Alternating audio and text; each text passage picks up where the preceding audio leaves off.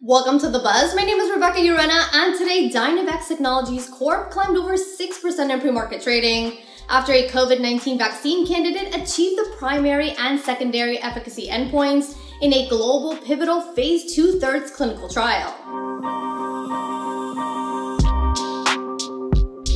The COVID-19 vaccine developed by Clover Biopharmaceuticals using the Dynavax CpG 1018 adjuvant showed 100% efficacy against severe COVID-19 and hospitalizations, and 84% efficacy against moderate to severe COVID-19 caused by any strain of SARS-CoV-2.